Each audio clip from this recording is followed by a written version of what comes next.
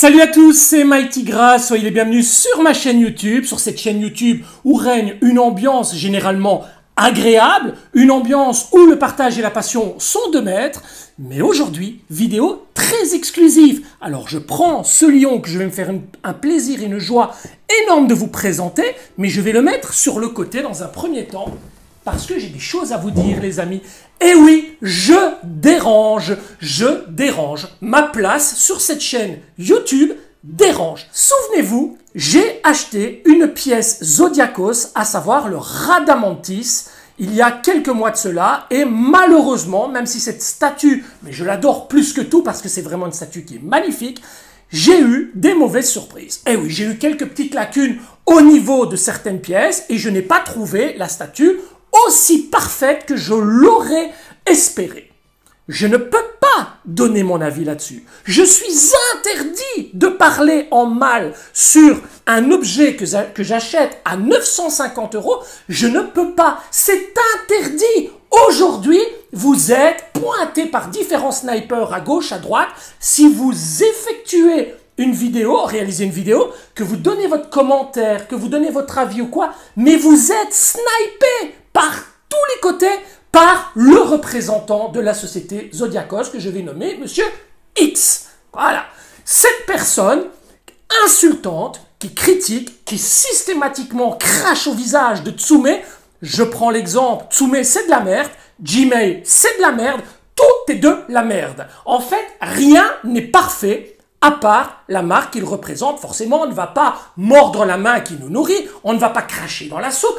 Donc cette personne, en grand chevalier qu'il est, en grand serviteur de la marque Zodiacos, dès que vous parlez d'un objet autre que Zodiacos, je prends exemple, vous achetez un lion de la marque Tsume ou Fox Studio, il intervient. C'est de la merde, c'est du brin, c'est nul, c'est à chier, rien de mieux que Zodiacos. Oh, oh, oh, on se calme. En tant que représentant, je pense qu'une image quand même correcte est le respect de la concurrence, le respect des gens qui achètent autre chose que la marque Zodiacos. D'accord? Chacun est libre de faire ce qu'il veut. Eh bien non, ce n'est pas possible. D'ailleurs, pour preuve, les insultes abondantes, les critiques, les méchancetés, les coups d'intimidation, de menaces, etc., ont fait que tous ces comptes Facebook ont été simplement supprimés par Facebook. Voilà, aussi simple que ça. À un moment donné, ben, il faut s'attendre à un retour de flamme. Voilà, moi aujourd'hui, on m'interdit de parler de Zodiacos. Alors, ok, vous avez deux possibilités. Soit je réalise des, vidéos de statues de la marque Zodiacos en disant « Ouais, c'est beau, c'est génial, c'est fantastique, c'est merveilleux, il n'y a pas de défaut. Franchement, allez-y les yeux fermés. 950 balles, 1000 balles parfois. Allez-y les yeux fermés, c'est parfait. Tsume, Fox Studio, Gmail, euh, Immortal, euh, Kid Logic, tout ça c'est de la merde. Allez chez Zodiacos, ça fera plaisir aux, aux représentants de la marque. Soit je vous fais ça et vous quittez ma chaîne parce que vous allez me prendre pour un gros neuneu dégénéré qui ne pense qu'au profit et au commerce. Je le rappelle, je n'ai rien à gagner quand je monte une statue et que je vous la présente. Que ce soit chez Fox Studio, que ce soit chez Tsume ou que ce soit n'importe où. Je n'ai rien, même si des rumeurs disent que j'ai tout gratuit. Oui, ma maison, ma voiture, tout. Mon frigo est rempli toutes les semaines par Fox Studio, Tsume, etc. C'est connu. Voilà, bref. Ou soit, je vous donne mon avis objectif, avec ce que je ressens, avec ce que je vis, avec les défauts, les qualités, sans pour autant forcément descendre la marque. Le but n'est pas de descendre la marque. Zodiacos, c'est du très bon travail. Ça, c'est indéniable. On a de très très belles statues. Malheureusement, Zodiacos est représenté par un par un gars qui n'a aucun respect pour les gens autour. Alors, c'est dommage pour Zodiacos. Zodiacos, mais c'est un, un monsieur qui vit en Chine. Donc, lui, forcément, ne suit peut-être pas forcément tout ce que monsieur X balance sur les réseaux sociaux. Mais j'ai vu des trucs, les gars, mais c'est un truc de malade.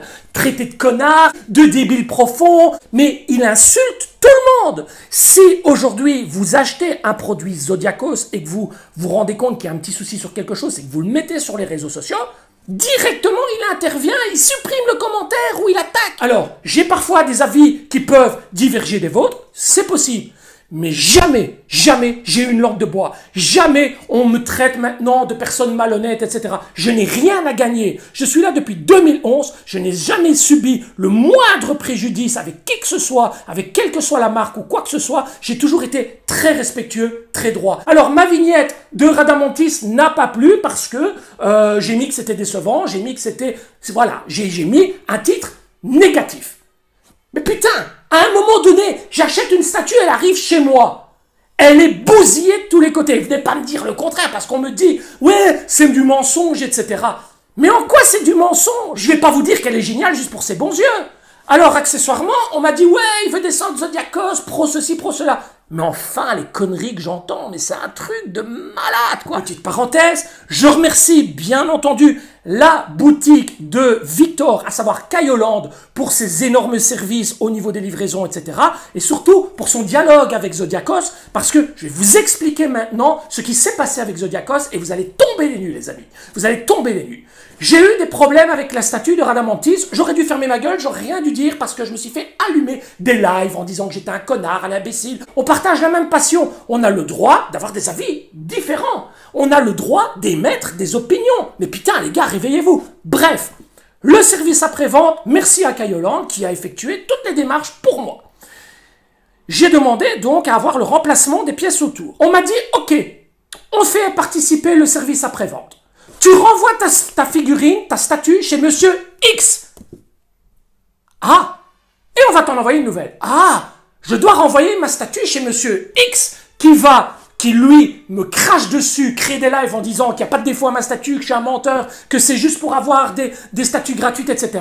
Et je dois lui envoyer à lui, qui lui va se faire une joie de faire des photos d'une autre statue, pas de la mienne, et va les montrer sur les réseaux sociaux en m'écrasant en disant Ah, il dit des mensonges, hein Oh, Mighty c'est un connard, c'est un menteur Mais vous êtes fous, quoi Enfin, il y a un moment donné, ils sont fous, quoi, chez Zodiacos. Ils me prennent vraiment pour un teubé. C'est pas possible. Donc j'ai refusé. Voilà, j'ai refusé. Alors, plutôt que d'envoyer ma statue, de risquer d'avoir des problèmes, parce que j'ai beau bien l'emballer, vérifier, etc., elle arrivera là-bas avec un problème, c'est une certitude. Ce monsieur X est tellement quelqu'un de... Voilà, que il y aura un problème. Je ne sais pas lequel, mais il y aura un problème. Alors j'ai refusé. Vu que j'avais l'intention d'acheter le lion de chez Zodiacos, Cayolant a demandé à Zodiacos s'il était possible de faire quelque chose sur cette statue. Et j'ai eu une réduction. Je n'ai rien demandé. C'est Cayolant qui a négocié pour moi. Je n'ai pas de statue gratuite ni quoi que ce soit. Aujourd'hui, je vais vous présenter ce lion.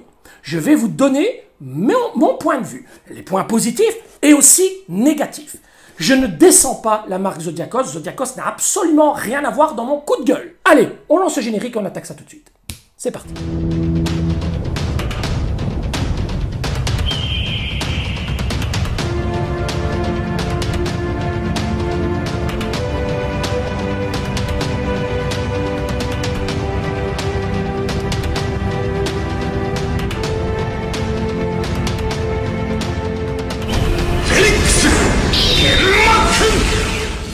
Aeolia du Lion nous prouve une fois encore que Zodiacos sait faire en matière de packaging. Regardez-moi cette boîte splendide avec la statue sur la face avant et ce Lightning Plasma qui contourne vraiment toute la statue sur un fond magnifique. L'intitulé Aeolia juste là, Aeolia qui sera également repris sur un fond très flouté, tous les logos qui concernent Zodiacos, vraiment splendide. Le premier flanc de la boîte reprend Aiolia avec ses grands yeux bleus et son casque, ainsi que l'intitulé Aiolia que l'on retrouve juste ici. L'autre flanc reprend cette fois le personnage d'Aiolia avec son casque, mais ses yeux rouges sur un effet flouté et en profondeur. Le logo Senseiya, Aiolia, la statue dans son intégralité en tout petit juste ici, et tout un tas d'informations concernant Zodiacos juste en dessous. Sur le dessus de la boîte, simplement l'intitulé Ayolia. L'arrière de la boîte représente un petit patchwork très sympathique dans lequel on retrouvera différentes parties du personnage. Nous avons la partie ici du buste, le point du lion mis en avant, les trois visages fournis, un visage avec les yeux rouges, un visage avec les yeux bleus, et enfin le troisième visage décasqué, qui pour moi est sans conteste le plus joli des trois. Il est vraiment magnifique. Alors ne vous fiez pas du tout à l'illustration. C'est vrai que l'illustration donne l'impression que le personnage est bouffi, qu'il a une tête assez ronde, mais rassurez-vous, la réalité est tout autre. Je vous le montrerai tout à l'heure, vous allez voir, il est vraiment magnifique. Ici, nous avons le personnage vu de l'arrière avec sa cape au vent, tandis que là, nous avons toute la partie de la jupe et le dessous de la cuissarde. Zodiacos nous fournit également pour le montage de cette statue une paire de gants des plus sympathiques, ça évitera d'avoir des traces de doigts sur toute l'armure, et ça c'est vraiment quelque chose de super intéressant. En plus de la paire de gants, vous retrouverez une enveloppe avec un numéro, cette enveloppe comprend tout simplement le certificat d'authenticité de la statue, parce que oui, je le rappelle, Zodiacos est une société officielle. Petite mise en bouche sur les visages du lion, celui aux yeux rouges casqué, celui aux yeux bleus casqué, et enfin le visage non casqué qui est pour moi vraiment le plus joli de tous. Je vous en parle dans quelques minutes. Nous revoici donc cette fois devant le lion de chez Zodiacos monté. J'ai pris soin de la monter à mon aise, dans mon coin, pour bien profiter de chaque élément et de pouvoir vraiment analyser celle-ci, mais surtout pour une raison qui est quand même assez essentielle, c'est que le montage est assez fastidieux.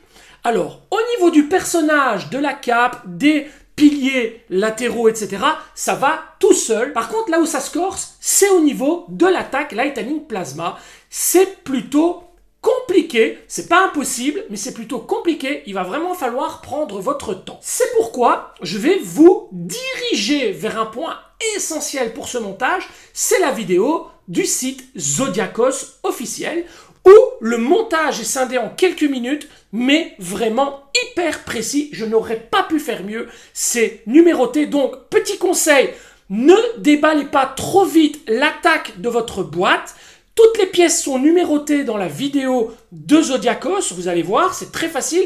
Et chaque pièce est prise une par une et il vous montre où la mettre. Chose qui aurait été assez compliquée pour moi de vous réaliser à l'écran. Toutes les petites parties qui viennent se pluguer dans la base, c'est facile, mais au niveau des pièces qui viennent s'assembler, c'est un petit peu plus compliqué. Pour la partie que vous allez voir ici, n'oubliez pas une chose essentielle, ce n'est pas malheureusement pas dit dans la vidéo de Zodiacos, le petit point, la petite pointe qui va venir se fixer dans le trou prévu, c'est la plus petite de la petite boule ici d'énergie, donc c'est la plus petite pointe. Ne cherchez pas midi à 14h à retourner la pointe dans tous les sens, c'est la plus petite pointe. Vous venez la pluguer dedans et ça va tenir tout seul. C'est parti pour la découverte de cette statue. On va d'abord faire un petit tour comme ça, un petit tour sur lui-même, à 360 degrés. Voilà, je vous laisse profiter du visuel qui est honnêtement très sympa. Je vous laisse vraiment profiter. Je discuterai des points positifs dans quelques instants, mais je vous fais un petit tour de piste comme ça pour que vous puissiez juger du posing, de l'attaque, de l'effet d'immersion, etc. Voilà. Regardez un petit peu. Juste avant cette présentation, vous avez vu les trois visages en vue rapprochée qui sont très très très jolis. Ils sont vraiment splendides. Ma petite préférence va pour le visage non casqué étant donné que je possède la version Tsume qui est casquée et une version Fox Studio qui elle aussi est casquée. Je trouve que cette version est beaucoup plus, euh, je sais pas, il y a un côté adulte que j'aime beaucoup. Moi qui suis un adepte du posing, Honnêtement, cette pose est de feu. Elle est vraiment magnifique. L'appui sur les jambes est superbe. Le cou porté vers l'avant, magistral. La main vers l'arrière. Le faciès, les faciès, les trois visages sont splendides. Il n'y a vraiment rien à dire là-dessus. Ce produit, pour moi, mérite réellement un bon 9 sur 10. Je n'ai pas eu l'occasion d'avoir Aldébaran, Mu, Doco, etc. Je ne crache pas dessus, je ne crache pas sur un produit que je n'ai pas eu devant les yeux. Comme je ne crache pas sur le Radamantis que j'ai eu l'occasion de présenter, que je possède dans ma collection, j'ai juste râlé sur l'état général de la statue à sa réception, mais la statue reste néanmoins splendide. J'ai testé cette statue, à savoir de la mettre dans une vitrine Seos, elle rentre, Mais attention, cette partie-là qui dépasse légèrement sur l'avant, voilà, dépasse d'un centimètre de la vitrine CEOS, donc vous ne saurez pas fermer la porte. Nous sommes là devant un Ayoya très agressif, très en colère, très énervé. Une attaque très immersive avec des rayons de lightning plasma partout, ça explose les yeux, la rétine, c'est magnifique. La base, qui a une structure en roche, est plutôt sympathique. Je trouve que chez Zodiacos, j'ai toujours eu un peu de mal avec les bases. La roche, par exemple, je trouve que ça a toujours été un petit peu en dessous de la concurrence, faut le dire, mais pour celle-ci, je trouve que ça va. J'aurais juste peut-être à reprocher la tranche qui est un petit peu trop brochée à mon goût. Et voilà, on, trouve, on retrouve un peu trop les coups de pinceau. C'est peut-être un détail à surveiller, peut-être à améliorer, peut-être travailler plus à l'aérographe. Sinon, l'ensemble est relativement très sympa. Vous allez voir également que vous avez donc au niveau du montage un pilier ici en deux parties à monter très facilement. Vous avez un pilier ici que je vais retirer d'ailleurs, voilà, qui est aimanté. Un gros pilier que vous pouvez remplacer par un petit pilier. Voilà, on va le mettre. Vous pouvez le remplacer par un petit pilier. Honnêtement, je ne sais pas vraiment quel est l'intérêt d'avoir ce petit pilier plutôt que d'avoir ce grand pilier, mais en tout cas, il est fourni, pourquoi pas? Voilà, moi je ne l'utiliserai pas, je préfère de loin le gros pilier, je pense que la majorité d'entre vous utiliseront le gros pilier. L'alternative possible, c'est que ce petit pilier peut servir pour une exposition plus simple, sans attaque, avec un Ayolia où toute l'attaque Lightning Plasma ne serait pas présente. L'attaque est vraiment l'élément capital du, lion, de cette statue. Ce serait vraiment dommage de ne pas la mettre. Honnêtement, beaucoup diront que ça fait cheap. Je vous assure, ça ne le fait pas du tout. Je l'ai devant les yeux. Ça fait pas du tout cheap. C'est très propre. Contrairement à Morana Mantis qui avait souffert d'un problème qui n'est pas récurrent mais qui est un problème qui était ciblé à ma statue, la résine est plutôt propre. Je n'ai rien par certains endroits, j'ai une petite trace, etc. Mais c'est vraiment minime, ce n'est pas choquant du tout. Voilà, c'est pas quelque chose euh, de voilé comme dans toute la, la base de mon Radamantis. Donc franchement, là, super, rien à dire. C'est une statue qui a énormément de possibilités de montage. Vous pouvez mettre l'attaque sur le point, comme vous pouvez également mettre le point sans attaque. Ça, c'est très bien aussi. Je vous montrerai tout à l'heure en fin de vidéo. Je vous ferai une vue euh, générale, mais vous allez voir que c'est très sympa. Vous avez vraiment plusieurs possibilités de montage. Le petit pilier, pas d'attaque, l'attaque sur le point, le point sans attaque, les différents visages, combiner les yeux rouges avec l'attaque ou combiner la tête normale sans l'attaque. Bref, vous avez toute une multitude de possibilités et ça, c'est vraiment très sympa. Au niveau de l'armure, l'armure est tout à fait lisse quand je la touche. Le vernis est vraiment super et ça, ça me fait un énorme plaisir. Je n'ai malheureusement pas retrouvé ça sur mon Radamantis, mais comme je vous le dis, c'était une version peut-être qui est passée outre les euh, contrôles de qualité. Peut-être c'est une version qui était un petit peu moins qualitative. On sentait quelques aspérités, quelques côtés où c'était assez rugueux sur certains endroits. J'ai fait venir des amis à la maison à qui j'ai fait constater au toucher, ils ont validé, donc ce n'est pas de l'invention, c'est une statue qui était vraiment, à mon avis, un peu en dessous de la qualité habituelle, chose que je ne retrouve pas sur ce taillot-là, il est vraiment parfait. Pas de peu de peinture, rien du tout, pas de coup, rien. C'est vraiment soigné aux petits oignons. Il me tarde réellement d'avoir le scorpion parce que oui, je vais acheter également le scorpion de chez Zodiacos. J'ai pas du tout été déçu par cette statue. Comme je vous le dis, c'est un bon 9 sur 10 pour moi. La perfection n'existant pas, il y a quelques petits points négatifs que je vais vous soumettre tout de suite. Alors, regardez la ceinture. Vous voyez, je vous mets une petite photo ici. Elle épouse parfaitement le galpe de l'agent, et ça, moi je suis pas d'accord. L'armure est un tissu de corps, mais je trouve que le fait d'épouser le galpe donne l'impression à la jupe sur la partie avant d'être un peu fondue, d'être un petit peu chauffée au soleil et qu'elle coule, qu'elle fond. Ça c'est vraiment un ressenti que j'ai, vous me donnerez votre avis mais c'est peut-être le seul élément qui me dérange un petit peu. D'ailleurs, je pense que Zodiacos avait fait la même chose sur l'épaulette de Chaka de la Vierge. J'avais un petit peu de mal avec cette épaulette qui suivait le galpe du, du bras Pour moi, une armure doit rester dure, fixe, et elle ne doit pas bouger, et ça, ça me dérange un petit peu. Maintenant, peut-être que c'est comme ça, peut-être que dans l'animé, ils ont aussi retrouvé des screens où l'armure suit, mais en tout cas, moi, j'en ai pas retrouvé, donc si vous en avez, n'hésitez pas à me les partager, ça me ferait plaisir de voir un petit peu euh, ce qu'il en est concernant ces armures. Qui dit envoi par avion, dit envoi sans pile, les amis. Et oui, lorsque j'ai déballé cette statue, j'ai cherché pendant plus de 20 minutes où étaient les piles. Parce que oui, il y a des piles, ce qui est logique, pour la télécommande qui illumine l'ensemble de la base, mais également pour le plastron. Parlons tout d'abord du plastron. Je n'ai donc pas les piles du plastron, je ne sais pas vous montrer l'attaque qui s'illumine sur euh, le point. Je vous mets une photo ici pour que vous puissiez voir comment ça fonctionne. Mais par contre, au niveau des piles du plastron, alors je vous explique. Nombreuses fois, on a reproché Hatsume avec son Lion de, euh, de 2017, 2016, 2017 d'avoir des piles dans le plastron et de chaque fois devoir retirer le plastron, appuyer sur le bouton, remettre le plastron pour que le point s'illumine avec l'attaque. On a reproché ça sans cesse Hatsume. Zodiacos a pratiqué exactement de la même manière pour ce lion. Alors, pourquoi a-t-il pratiqué de la même manière? Parce que je pense que c'est très compliqué d'avoir tout simplement le light-up qui s'illumine au niveau des branches et aussi du point. Il faudra avoir un contacteur sous le pied qui viendrait rejoindre le point. Je pense que c'est vraiment très compliqué à faire. Maintenant, moi, ce que je vous conseillerais vraiment en tant que collectionneur, si vous ne voulez pas allumer ce point, honnêtement, ne mettez pas les piles dans le plastron. Pourquoi? Les piles, vous allez les placer dans le plastron, vous allez les laisser, de temps en temps vous allez allumer, voilà, jusqu'au jour où vous allez oublier que les piles sont dedans. Changement de température, l'été, l'hiver, etc. Et un jour, vous allez voir une jolie coulée d'oxydation des piles, du lithium qui va couler des piles et qui va abîmer votre peinture au niveau de la statue, ou même les piles vont rouiller à l'intérieur. Donc, petit conseil, mettez les piles si vous voulez utiliser l'attaque, mais vérifiez régulièrement que les piles n'ont pas fondu ou ne soient pas oxydées. Ce serait vraiment dommage d'abîmer la peinture. Chose qu'on devrait quand même dire quand on est représentant de la marque Zodiacos quand même pour prévenir la clientèle, je trouve. C'est quand même des petits points qui sont essentiels à soulever. Moi, je vous dis tout ce qu'il y a à vous dire avec un avis objectif et pas dans l'idée de vendre des produits pour vendre des produits. Voilà.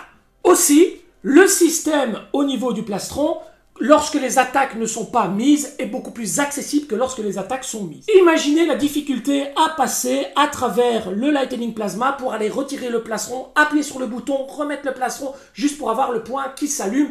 C'est quand même risqué de faire tomber le plastron, de faire sauter les épaulettes et de casser des pièces dont, honnêtement, l'attaque est là, elle s'illumine, c'est plutôt pas mal, mais si vous ne l'utilisez pas, laissez-la comme ça. Franchement, ça vous évitera bien des soucis. Chez Zodiacos, on n'utilise pas de pâte à fixe. Faux Il y a de la pâte à fixe chez Zodiacos aussi. La pâte à fixe n'est pas une solution de facilité, n'est pas une solution de confort pour la marque, c'est une solution de sécurité. Les pièces tiennent très bien, mais parfois, un petit peu de pâte à fixe peut amener à avoir un soutien supplémentaire. Moi, j'ai aucun souci à devoir mettre un peu de pâte à fixe au bout du point pour que le point tienne bien. Le point tient très très bien, mais de la pâte à fixe, parfois, ça peut être un petit peu sécurisant dans le sens où si vous avez des vibrations chez vous, des trains qui passent ou des gros camions, des poids lourds, mais ça vous évite qu'au bout d'un moment, le point, boum, il tombe. Voilà, quand la pièce n'est pas aimantée, la pâte à fixe peut servir, donc bon point aussi pour Zodiacos. Et on en vient au dernier point négatif, et ça pour moi c'est le plus important, c'est un point sur lequel j'aimerais vraiment que Zodiacos se penche pour les sorties futures, c'est l'allumage de la statue qui ne se fait uniquement cette fois-ci qu'avec la télécommande. Je vais revenir sur la version de Radamantis où j'avais dit que le bouton poussoir était à l'arrière de la statue et que c'était très difficilement accessible. Zodiacos y a remédié en cette fois-ci ne mettant plus de bouton, de bouton poussoir sur l'arrière mais en fournissant une télécommande. Le principe est excellent, c'est beaucoup plus facile, par contre il y a un hic. Cette télécommande fonctionne donc avec ce système que vous venez plugger dans la statue. Ce USB, euh, vous venez le mettre dans un adaptateur USB que vous venez mettre dans une prise de courant. Et tout simplement en appuyant une fois sur ce bouton-là, votre statue est mise sur tension. Avec la télécommande, vous appuyez, la statue s'illumine en deux phases. Vous avez une phase avec des, stroboscopes au niveau des lumières et vous avez une phase fixe. Le gros problème qu'il y a, c'est que cette télécommande fonctionne sur une fréquence universelle. Ce qui veut dire que lorsque vous l'allumez, tous vos éléments autour qui fonctionnent avec d'autres télécommandes, comme par exemple des vitrines CEOS, ou comme par exemple d'autres statues avec d'autres télécommandes, etc., eh bien, tout déconne. Parce que ce bouton va non pas seulement allumer votre statue Aeolia, mais va éteindre certaines vitrines, allumer d'autres vitrines, mettre le mode stromboscope pour d'autres, et ça devient complètement le carnage. Ça devient vraiment le zouk à fond, ça devient euh, discothèque, vous avez vos vitrines qui clignotent, etc., parce que vous avez appuyé sur cette télécommande. Et ça, c'est regrettable. On aurait bien aimé pouvoir utiliser cette télécommande, mais également avoir un bouton poussoir sur la statue, juste pour pouvoir l'allumer avec simplement la prise secteur. Ça n'a pas été le cas. Cette télécommande fonctionne de pair avec l'interrupteur que voici. Et si vous n'utilisez pas cette télécommande et que vous appuyez simplement là-dessus, ça ne s'allume pas. Il faut absolument appuyer sur le bouton ici. Donc pour pouvoir allumer cette statue, la meilleure chose à faire pour ne pas foutre le bordel dans vos vitrines, etc., c'est de tout couper, tout éteindre autour de vous, d'allumer en priorité la statue, et ensuite, vous pouvez allumer les autres vitrines. Par contre, si les autres vitrines sont allumées et que vous appuyez sur ce bouton-là, waouh, c'est le bordel, hein euh, C'est du David Guetta dans votre, dans votre pièce de collection, les gars. Ça va stromboscoper partout, hein Ça va être monstrueux. Voilà, sachez-le. Ça, c'est le gros point négatif pour moi. C'est pas non plus catastrophique parce que moi, je n'allume que très peu les statues, mais sachez-le. Si vous voulez allumer cette statue sans que vos vitrines déconnent, Coupez d'abord la lumière de vos vitrines, vous allumez d'abord celle-ci et puis le reste, parce que cette télécommande fonctionne sur la même fréquence. Tout simplement, et vous ne savez pas malheureusement changer la fréquence. Maintenant, est-ce que l'un d'entre vous aurait éventuellement un système alternatif pour pouvoir allumer cette statue avec autre chose que ceci et la télécommande en la gardant allumée ou éteinte. Je suis preneur, n'hésitez pas à le mettre dans les commentaires. Je le partagerai pour les autres collectionneurs qui désiraient avoir cette information. Ce serait vraiment euh, de bon cœur que je pourrais faire cette info en vous citant. Merci d'avance. Voilà les amis, j'ai fait le tour des points positifs, des points négatifs. Maintenant, je pense qu'il est impératif pour moi de vous montrer la statue dans son intégralité en vue rapprochée avec les light up, etc. Je vais également retirer l'attaque qu'il y a sur le point et mettre le point alternatif. Malheureusement, je ne pourrai pas allumer l'attaque au niveau du point, comme je vous l'ai dit tout à l'heure, parce que je ne possède pas les piles qui vont dans le plastron et je n'ai pas eu le temps d'aller en acheter. Donc veuillez m'excuser pour ça. Vous l'avez vu, cette vidéo n'a pas pour but de vous vendre le produit. Cette vidéo n'a pas pour but de faire la publicité de Zodiacos. J'ai mis le cadre Zodiacos juste ici pour bien prouver que je ne suis pas contre la marque. Je suis avant tout pour la passion, que ce soit une licence ou une autre ou pas de licence, je m'en fous complètement. Moi, ce que j'aime, c'est la qualité du produit, c'est la représentation dite accurate d'un euh, personnage, d'une statue, et franchement, c'est de qualité, cette statue, il n'y a vraiment rien à dire. Quelques points améliorables qui ne sont pas catastrophiques non plus. Les amis, merci beaucoup d'avoir pris le temps de me suivre sur cette vidéo. Merci beaucoup de m'avoir écouté. Je suis vraiment désolé d'avoir été un peu plus vif sur ma chaîne, contrairement d'habitude. La première partie est vraiment un coup de gueule qui est euh, qui vient du cœur. Voilà, il y en a marre des euh, querelles à deux balles sur les réseaux sociaux, sur YouTube, partout. Il y en a vraiment marre. On est avant tout des adultes, je pense, dans nos têtes.